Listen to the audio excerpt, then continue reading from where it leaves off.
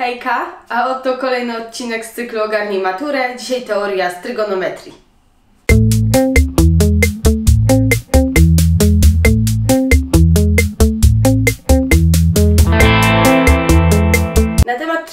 Trygonometrii bardzo dużo znajdziecie w tablicach matematycznych. Ja Wam tutaj napisałam, że wszystko jest na stronie 14.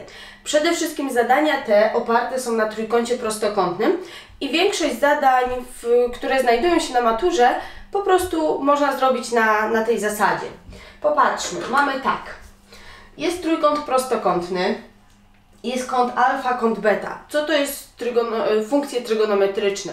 Funkcje trygonometryczne jest to stosunek długości właśnie w takim trójkącie. Teraz sinus alfa, czyli sinus tego kąta. Jest to długość boku, który jest naprzeciwko kąta, czyli długość boku A, do długości boku najdłuższego, czyli do przeciwprostokątnej, czyli C. Kolejnie mamy tak. Kosinus tego kąta, kosinus alfa, to jest długość boku, który znajduje się przy kącie do najdłuższej, czyli do przeciwprostokątnej, a więc w tym wypadku mamy B przez C.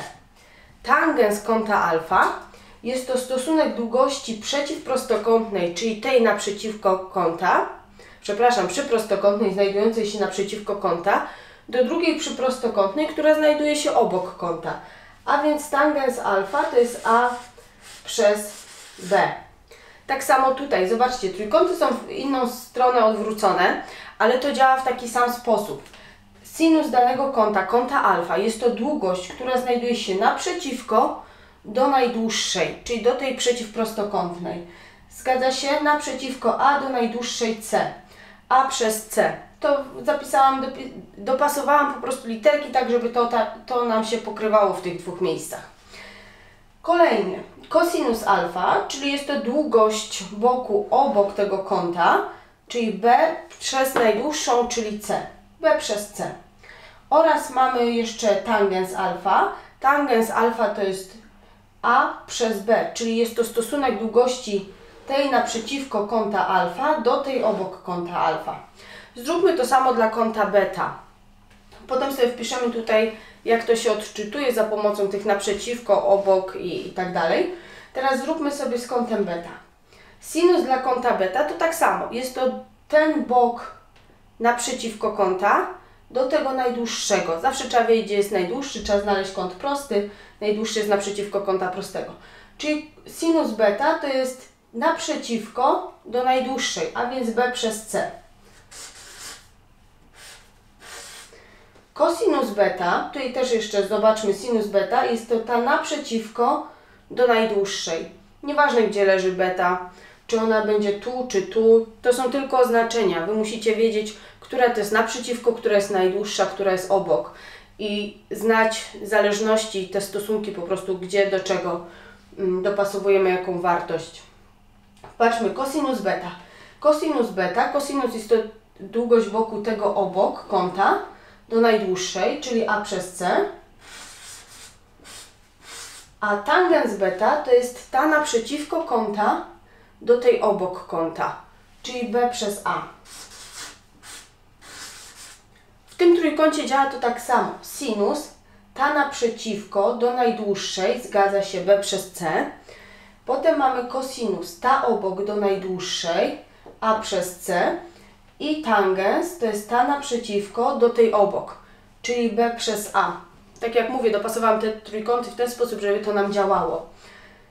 Zobaczmy, jedna ważna rzecz. Jak mamy y, w jednym trójkącie kąt alfa i beta, to skoro suma kątów w trójkącie wynosi 180, tu jest 90, więc alfa plus beta możemy sobie zapisać, że alfa plus beta daje nam 90 stopni. I to jest ważna informacja. Zresztą tak zawsze jest w trójkącie prostokątnym. To jest ważna informacja dlaczego. Popatrzcie, ten sinus alfa jest równy tutaj kosinusowi beta. Zgadza się? Kosinus alfa tego jest równy sinusowi beta. Czyli widzicie, jak mam sinus tego kąta, to on jest równy kosinusowi tego. Sinus tego jest równy kosinusowi tego. A tangens alfa i beta, one są odwrotnością. Jak tu mam a przez b, to tu mam b przez a. to można potem wykorzystywać w zadaniach. A więc skupmy się tutaj na tym i na dokładnym określeniu tych funkcji. A więc sinus alfa jest to długość boków, jest to stosunek długości boków naprzeciw kąta, czyli napiszmy sobie naprzeciw, bo zawsze w sinusie bierzemy naprzeciwko, tak, czyli naprzeciw do najdłuższej.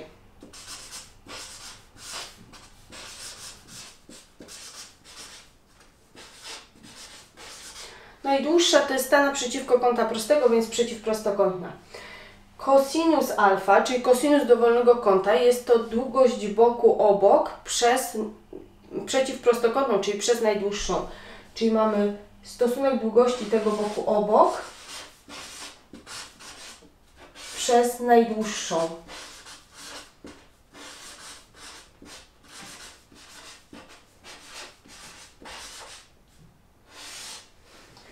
Oraz tangens alfa. Tangens alfa jest to stosunek długości boków, który leży naprzeciwko kąta, czyli naprzeciw do długości boku tego obok. A więc zapiszmy naprzeciw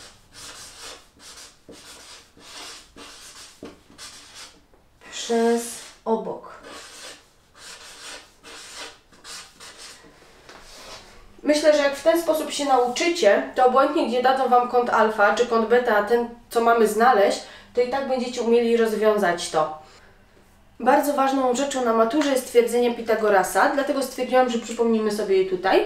Twierdzenie Pitagorasa jest wykorzystywane właśnie w trygonometrii, w całej planimetrii, stereometrii oraz w geometrii analitycznej, analitycznej, czyli ten, tej w układzie współrzędnych. Co mówi nam twierdzenie Pitagorasa? Że pole kwadratu o boku długości a, bo a do potęgi drugiej to jest inaczej wzór na pole kwadratu, plus pole kwadratu o boku długości b jest równa, suma tych dwóch pól jest równa polu kwadratu o boku długości c, jeżeli chodzi o trójkąt prostokątny. Czyli jak tu zbuduję sobie kwadrat o takim boku długości a, tu zbuduję kwadrat o boku długości, przepraszam, tu b, a tu a, to da mi te dwa kwadraty, będę mogła tak sobie porozcinać, poukładać, że otrzymam pole kwadratu, które się tu znajdzie w tym miejscu. To jest na poziomie gimnazjum, myślę, że za jakiś czas będzie to też tutaj na tym kanale. Teraz co ważne, jest ważna jeszcze rzecz, jest to trygonometria w układzie współrzędnym. Czasami zdarzają się takie zadania. Nie trzeba tego zapamiętywać, bo jest to w tablicach. Nie będę tego też dokładnie tłumaczyć, żeby Wam nie namieszać. Ważniejsze jest to, co Wam wcześniej mówiłam na zasadzie trójkąta prostokątnego. Jest to łatwiej, y, jest to bardziej potrzebne do zadań maturalnych, zamkniętych w, w maturach, w arkuszach maturalnych i też w zadaniach otwartych, jeżeli chodzi o planimetrię czy stereometrię. Zobaczmy tutaj. Sinus alfa jest to stosunek długości mm, przeciwprostokątnej, przy prostokątnej do przeciwprostokątnej. Teraz tak. Tutaj jest wartość y, czyli jak mamy punkt o współrzędnych x, y, to sinus to jest wartość tego y przez r. Jak y będzie ujemny, bo tu na przykład y jest dodatni, a x jest ujemny, to wynik jest ujemny. Teraz kosinus jest to x przez r, a tangens jest to y przez x. Co to jest nasze r? r otrzymujemy z twierdzenia Pitagorasa, bo czy tu weźmiecie jest trójkąt prostokątny, czy tu weźmiecie jest trójkąt prostokątny. To teraz r właśnie jest otrzymywany, albo możecie go sobie wyprowadzić z tego stwierdzenia Pitagorasa, albo zapamiętać, zresztą to jest w tablicach, tak jak mówiłam. R jest to długość od początku układu współrzędnych do naszego punktu, jest to tak zwany promień wodzący punktu M. Wszystko można na podstawie tego sobie wywnioskować, będzie jedno czy dwa zadanka w części zadaniowej. No i mamy związki między funkcjami trygonometrycznymi tego samego kąta. Teraz zobaczmy, o co tutaj chodzi. Mam tak, sinus kwadrat alfa plus cosinus kwadrat alfa równa się 1. No to czym jest sinus? Jak już mówiliśmy, muszę sobie poszukać mazaka, który będę pisać. Jak już mówiliśmy, sinus alfa, ja może sobie tutaj wpiszę te wartości. Sinus mojego kąta alfa to jest stosunek długości tego boku naprzeciwko, czyli A, do najdłuższej, czyli do C. A do C. My to teraz udowodnimy. Potem mamy cosinus alfa. To jest stosunek długości tego boku obok kąta, czyli B, przez C do najdłuższej. Zawsze jest obok do najdłuższej. No i tangens alfa to jest stosunek długości tej naprzeciwko kąta, czyli A, do tego boku obok, czyli B. A więc A przez B. I teraz na podstawie tego można większość zadań robić y, z trygonometrii, które znajdowały się na maturze. Potem to będzie w części zadaniowej. Zobaczmy. Sinus kwadrat alfa. No to sinus alfa to jest A przez C. Więc tutaj sobie wpiszę A przez C i w nawiasie do potęgi drugiej, bo jest do kwadratu. Plus tutaj zamiast kosinusa wpiszę B przez C. B przez C, no i do potęgi drugiej, czyli do kwadratu i to wszystko równa się 1. No to co mamy? Mamy tak, a do kwadratu przez c do kwadratu plus b do kwadratu przez c do kwadratu równa się 1. Zobaczmy, tutaj jest wspólny mianownik, więc u góry wyjdzie nam tak a kwadrat plus b kwadrat przez c kwadrat równa się 1. No ale co to jest? Tu, w tym miejscu. Co tu się pojawia? a kwadrat plus b kwadrat. Zobaczcie, to jest trójkąt prostokątny, więc a kwadrat plus b kwadrat to jest tak naprawdę stwierdzenie Pitagorasa. Zróbmy sobie twierdzenie Pitagorasa dla tego trójkąta. Czyli tak, przyprostokątna jedna do kwadratu, a do kwadratu, plus długość przyprostokątnej drugiej, czyli b do kwadratu, może poprawmy to, a do kwadratu plus b do kwadratu równa się no, długości przeciwprostokątnej c do kwadratu. A więc w tym miejscu tutaj śmiało ten zapis a kwadrat plus b kwadrat mogę zapisać c kwadrat, bo to jest to samo. A więc mamy c kwadrat przez c kwadrat równa się 1. No i to jest prawdą. To jest to, co należało udowodnić. Czyli widzimy, że to równanie jest prawdziwe. Na takich literkach można potem rozwiązywać. My będziemy mieć cyferki w zadaniach. Można rozwiązywać zadania. Teraz zwróćmy uwagę tutaj mówią, że tangens alfa, tak, według tablic, zresztą to jest prawdą, to sinus alfa przez cosinus alfa. My sobie wyjdziemy z tego i sprawdzimy, czy nam wyjdzie a przez b, czyli czy nam wyjdzie wartość tangensa. A więc zapiszmy sobie tak. Sinus alfa przez cosinus alfa równa się. Zamiast sinus alfa wpiszę a przez c, czyli mam a przez c. Zamiast cosinus alfa wpiszę b przez c. b przez c. Co ja teraz mam? No mam dzielenie dwóch ułamków, to jest ważniejsza kreska ułamkowa, a więc to jest równe. Tą ważniejszą kreskę ułamkową zastępuję znakiem dzielenia, czyli mam a przez c podzielić na b przez c.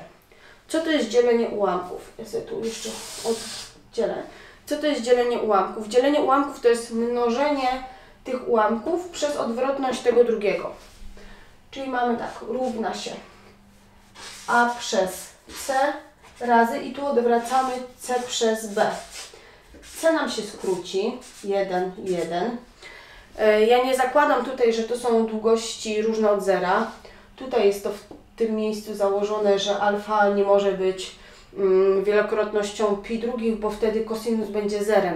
Ja tego nie zakładam, bo ja robię na długościach boków, a jak widać długości boków są dodatnie. Są w ogóle wartością liczbową różną od zera.